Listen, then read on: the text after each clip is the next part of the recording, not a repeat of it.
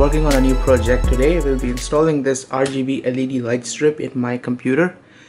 So uh, if you buy this LED light strip, it comes as a bundle with all of these things. So this is the RGB controller. Here you have the remote, the strip itself. It's a 5050 LED light strip, works on 12 volts. So we'll be uh, good to go with the computer. So no need of any adapters or anything we can straight away tap the 12 volts of the power supply and this is the connector which goes into this controller. And this I snipped off the adapter the power adapter for this. Uh, because the power adapter stopped working I just snipped it off. So this is how the peripheral connector of the power supply looks like. And you can wire this thing directly off the power supply. So it goes in like this over here and you can tape this up. And probably need to connect some extension wire because this is too small and this one goes into this RGB controller and that's it. But to make my work easier and to make it look neat I have this connector laying around. So this side goes into the power supply connector uh, just like this. And on the other side there is a fan header. And I coincidentally have this thing lying around too this is a connector which I snipped off a dead fan.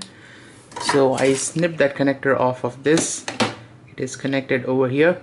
So we have that. And I can then wire these off to this uh, connector over here.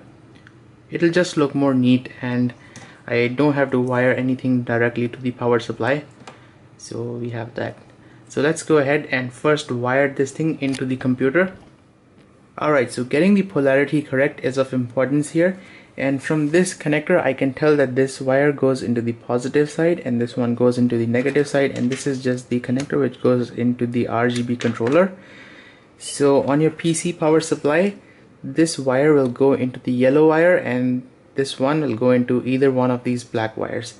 But as you can see and by the way do this when your PC is turned off. Don't do this when your PC is turned off. You might risk shorting these out and uh, blowing some fuse inside the power supply and you will be in trouble.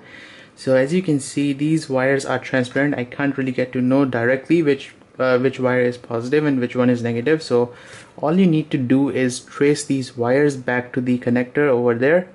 So this one is positive. And trace this back to over here you can see this one goes into the middle one. So this is positive side.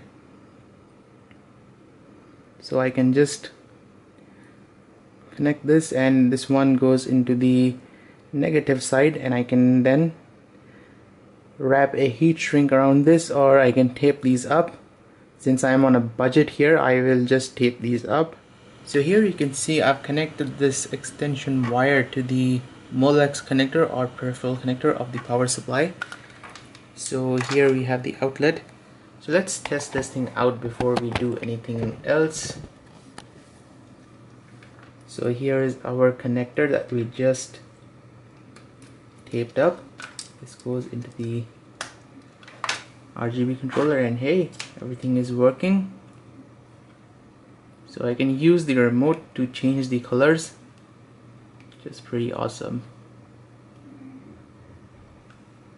Cool huh? So now we gotta tuck this thing in over here and then uh, just paste these LEDs on the edges of the case. As you can see I've installed the LED strip around the case along the edges and installed it from over here all the way here and now we are on the edge again. So this much strip still remains. And by the way you can cut this strip along this. So I will be cutting this strip. It won't affect the performance. There is a connector over here. You can buy another RGB controller and use the rest of the LED strip. And one connector is over here which will go into our RGB controller. So I will cut this strip here join this and then we'll power this thing up and take a look. Okay so what I've done here is taken off the plastic covering of the controller and I've covered it up with tape so that nothing shorts out.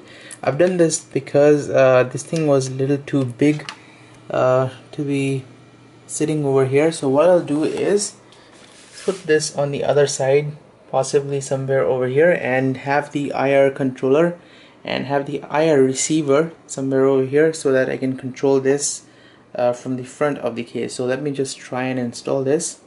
Here is the controller. I've used a double-sided tape to mount this.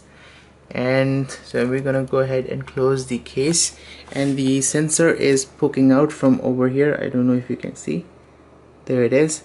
So technically it should work with the front cover on because there is a fan grill in front of this thing and yeah there is a lot of space. I can add another hard drive over here since there is no big fat controller sitting over here. And right now this is running on lowest brightness. I can use the remote control to control the brightness and the colors. So it is working with the case open. So let's see if it works with the case closed alright so the front cover is on. Let me turn the fan on. So there you go fans are running. So let's see if the remote controller still works. So it does work but it kind of requires me to poke the remote controller almost in front of the fan. So if I turn the fans off yeah I need to really uh, poke the remote controller way in the front. But that doesn't matter because nothing is poking out from over here. So it is seamless. We take a look at from the front of the PC kind of looks cool. So let me turn the light off and then we'll take a look.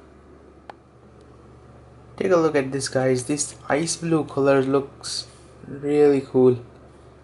And this flickering is not visible in real life. It's just the camera which is picking up. But yeah from here you can't even see the LEDs so you can just see the light coming from the edges of the case.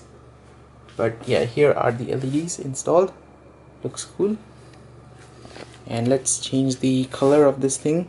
So so this is kind of purple. You can see all of these cables are kind of glowing. So I'm really satisfied with this project.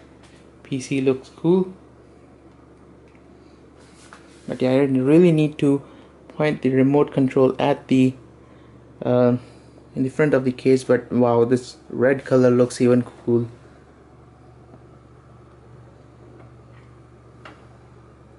So white. So white is kind of bluish white but nonetheless looks cool. Yellow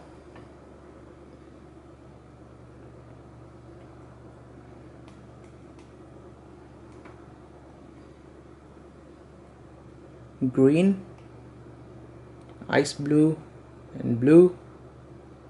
And I can also have this strobing effect. Yeah no this kind of strains my eyes. I think this is cool.